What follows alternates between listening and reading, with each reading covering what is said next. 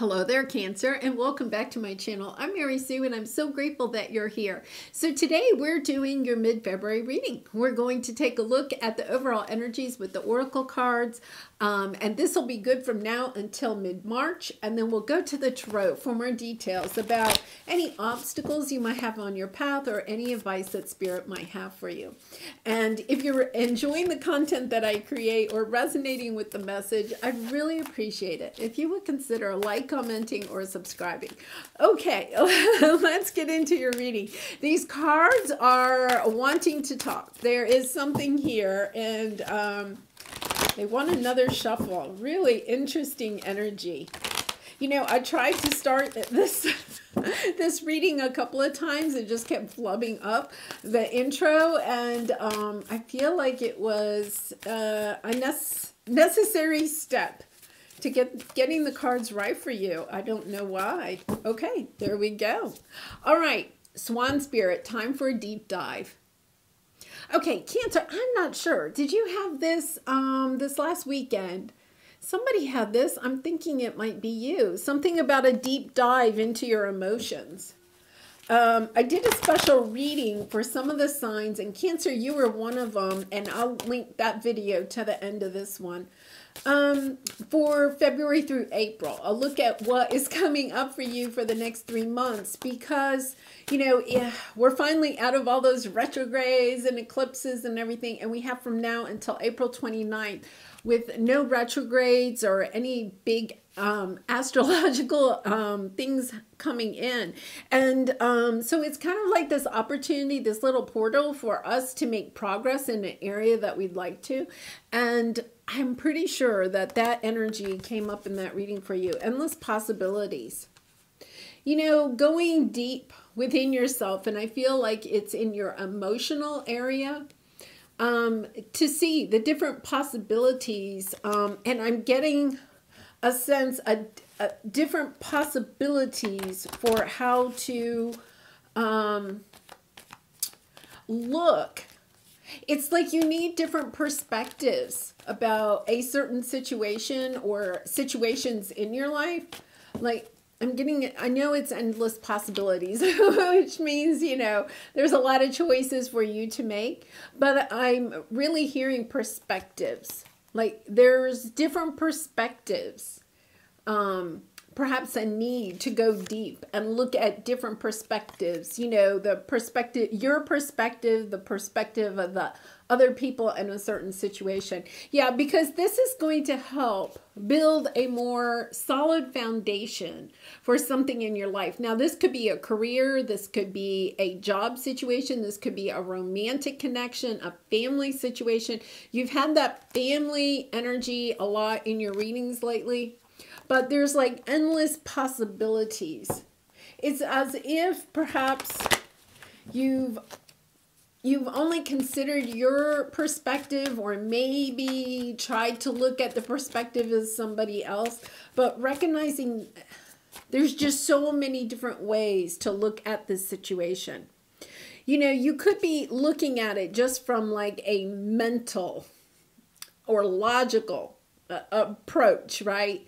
And I'm hearing spiritual, like maybe there's a need to look at this from a spiritual perspective um, as part of your soul's journey you know, whatever this is. It's helping to build a much stronger foundation for yourself and for the other people that are involved in this situation.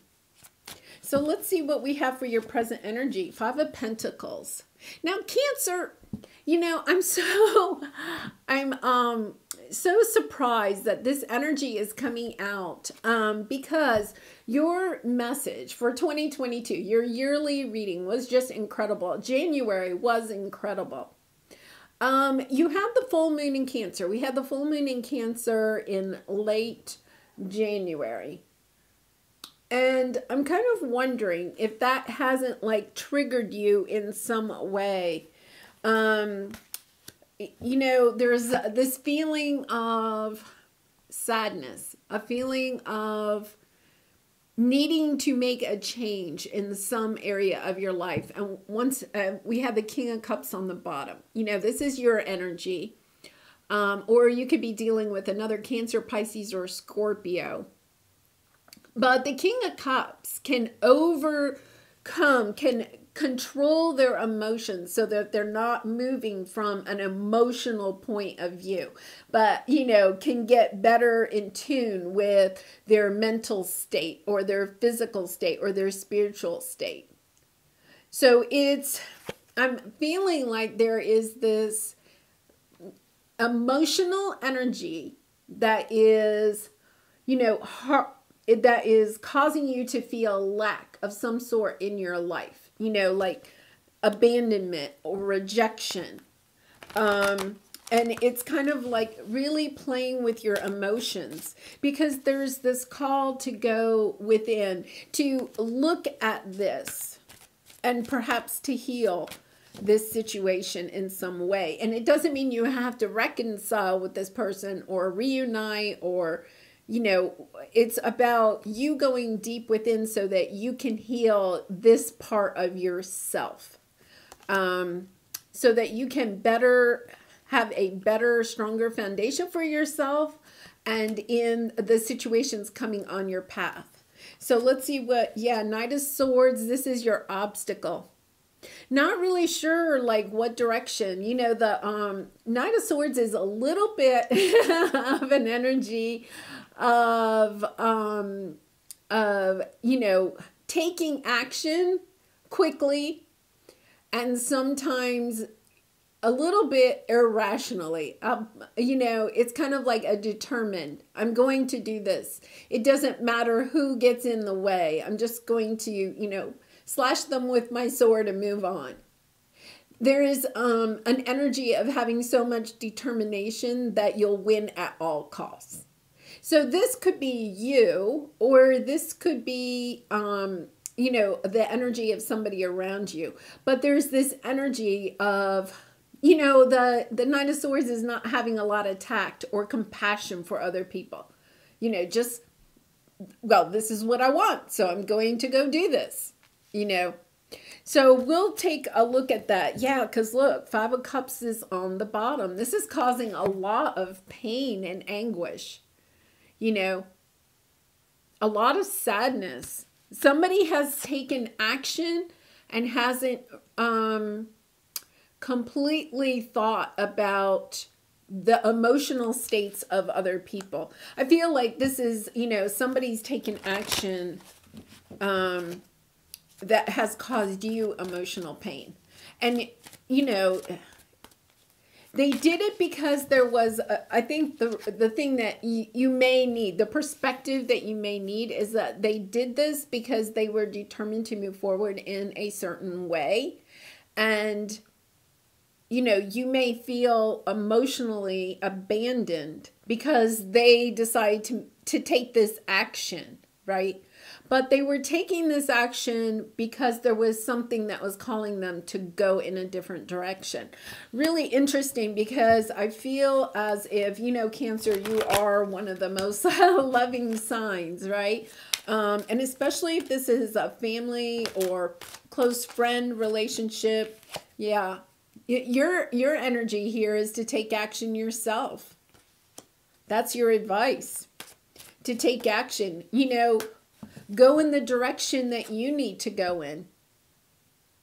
It may mean that you do have to um, leave somebody behind, which may be causing you. You may know this, you know, and that's causing you some pain, some agony, some, you know, feelings of sorrow. You may feel um, that you're sorry that it's gotten to this point. I'm getting that message. If that resonates with you, you know, you're sorry. I'm not saying this is your fault. I'm just saying that your some of your emotions may be I'm just so sorry that we couldn't have worked this out. We couldn't have had a conversation. I see that they're going their way. I guess I'll have to go my way. And just feeling as if you you may have some regrets, anxiety about the fact that this didn't work out in a different way. Huh, let's see what the outcome is. Nine of Cups. Yeah, it's um Four Cups is on the bottom. I feel like this is how you feel right now with this relationship or situation. You know, it's stagnant. It's not moving forward. It's not moving backwards. It's just stagnant and it's it's this energy of you know something has to change. You know, you could be even feeling a little bit like, hey, I got to go my own way in, in a sense but this is your area of resistance. You can't do it. And so your advice is, yeah, you need to go your own way, right? You need to do what is good for you. That will take you closer to what it is that you're hoping and wishing for. Yeah, Empress. Five of Cups on the bottom. I feel, you know, it seems like you've been having this energy a lot. Um, you know the empress can be you know you're you're wanting you may have gone your own way or somebody else you know left and went their own way and you know you were kind of like okay well i'm just going to start my own life you know start a new life for myself whatever that means and your new life is not bringing you the happiness the satisfaction that you thought it would bring you right and it's partly because of this situation, this person. Um, I, I feel like you're at a distance with this person. And your new life just isn't bringing you the joy and happiness that you thought it might.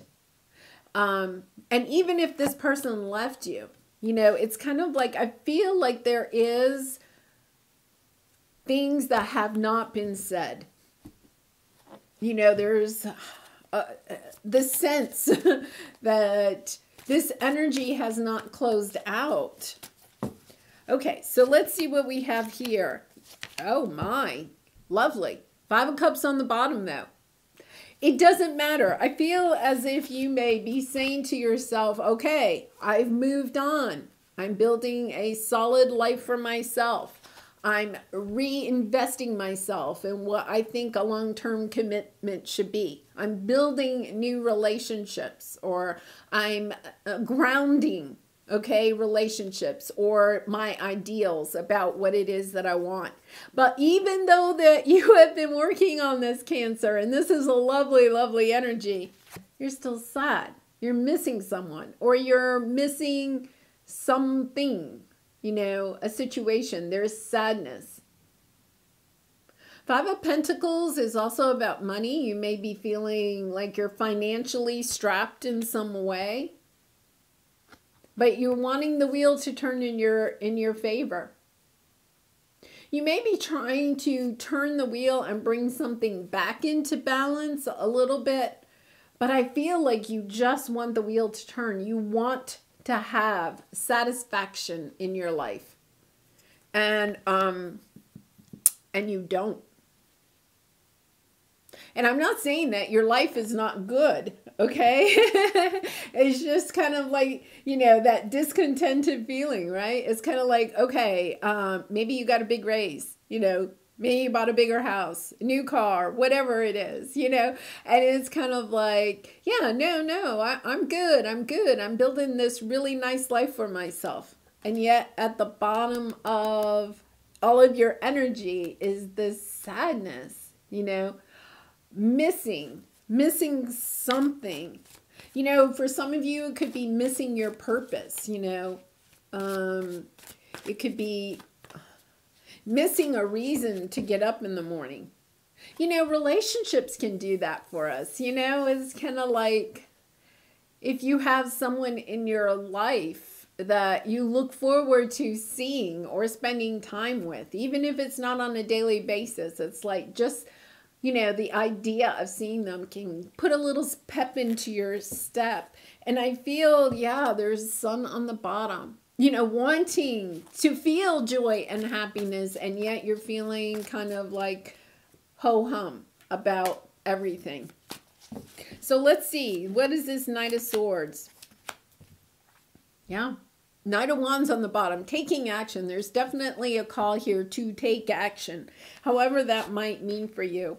You, you, I feel like, you know, somebody may have um, taken action to move away from you because it was what something that they wanted to go after and it kind of left you feeling a little lost.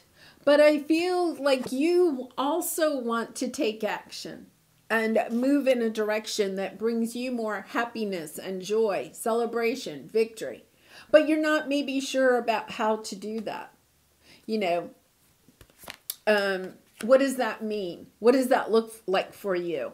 You know, asking yourself, okay, if I if I didn't have any fears, because this Nine of Swords is fearlessness.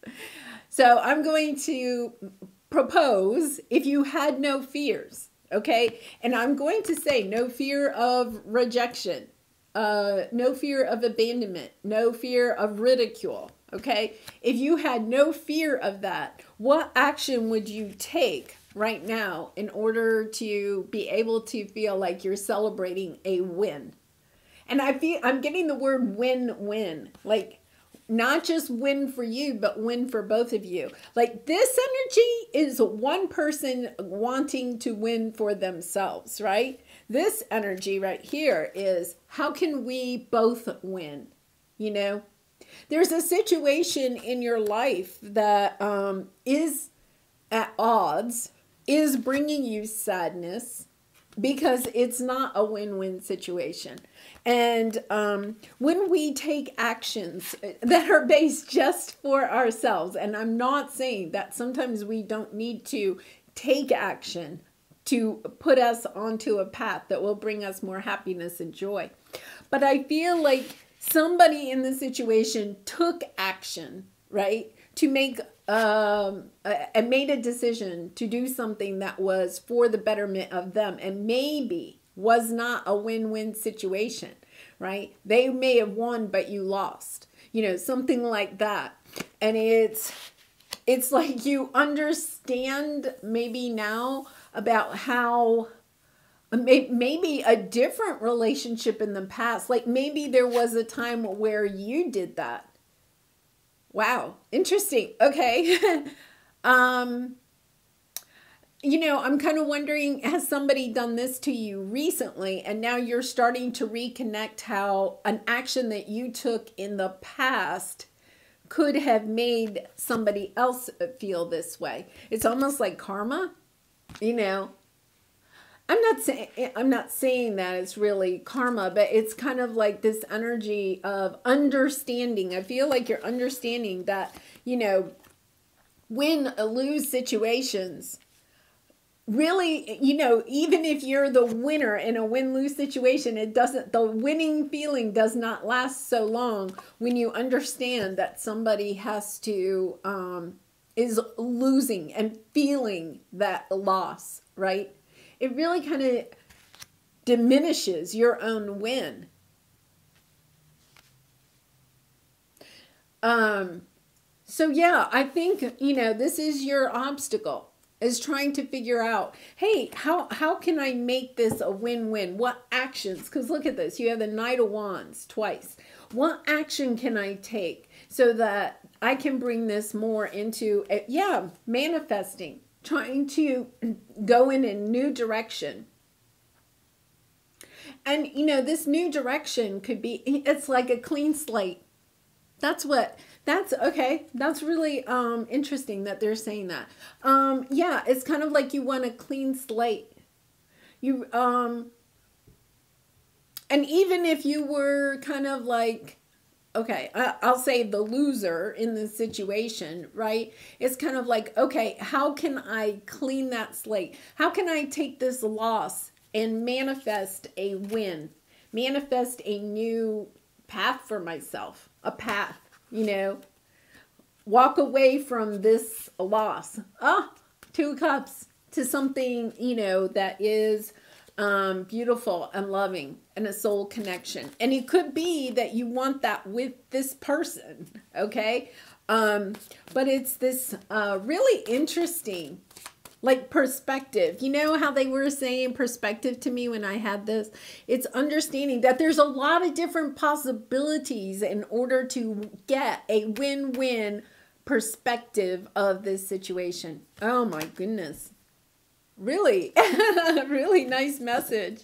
Yeah, because I feel like you're coming into your Nine of Cups. Like, I feel like you want to heal some situation, and it could, you know, this could be even your neighbor. Okay, it could be uh, some some situation in in your life where I feel like there was a win lose situation. Whether you were the winner or the loser, it really does not matter it's this energy of the universe is trying to teach you um, a lesson about win win solutions. Because I feel as if once you go through this and you have the win win mentality, okay, then um, what you're going to be able to do is um, really step into your power. You know, you're going to be able to move forward in such a much stronger basis when we realize that win win solutions really do help us to build a strong foundation for ourselves, whether that is in business, right? Or in personal relationships, or just in our life choices. You know, um, wow, such a an interesting um, message. Cancer, this is really lovely. Oh, oh my gosh. Nine of Wands. This has been a long journey. You know, for some of you, it may not just be with this one person. You may be taking a, a little bit of a snapshot of the past, okay?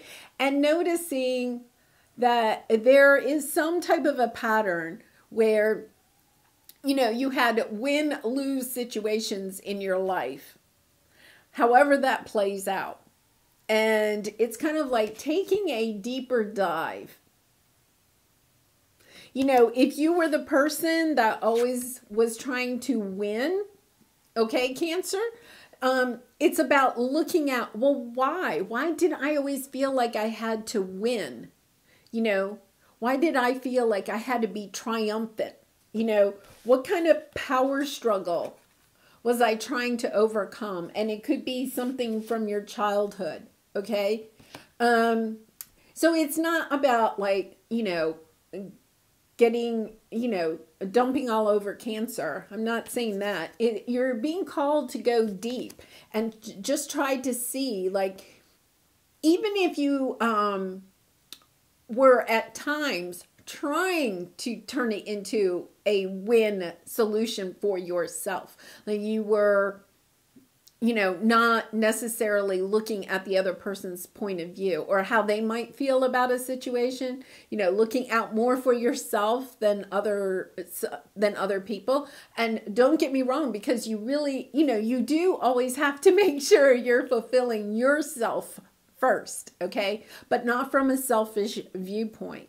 So I think it's kind of interesting because I feel like this is a huge it's kind of like a little bit of a test. It's it's this is a big building block to what is coming in the future. It's about just taking a look at your relationships, your the situations that you're in and asking yourself, you know, um both of these are a little bit of energies of selfishness you know, I, I want to get what I want to get.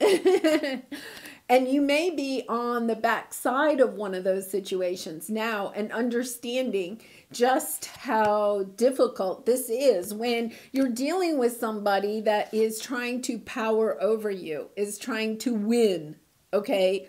And winning for them means that you lose. Instead of trying to find a solution where both people win both people walk away from this from the situation feeling like hey i'm happy about the way that turned out. And i feel like this could have something to do with you know a relationship from the past. Once again family is in here childhood you know taking a look uh, uh, is there this energy and once again this could be the other person cancer but is there this energy of power somebody wanting power you know, wanting to win.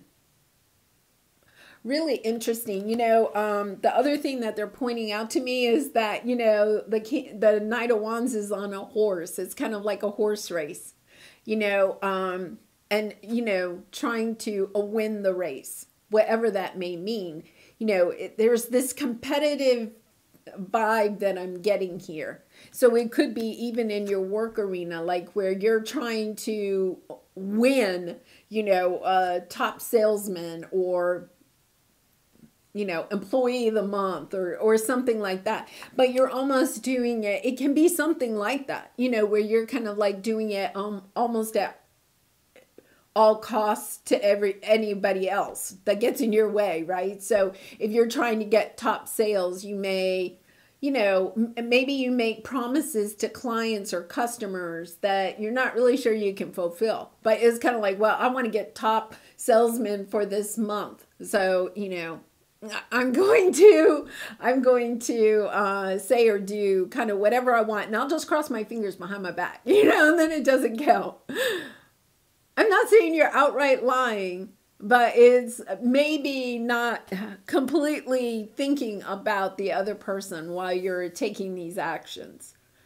Um, yeah, um, I mean, you know, part of us can always feel a bit, a little bit like this, right?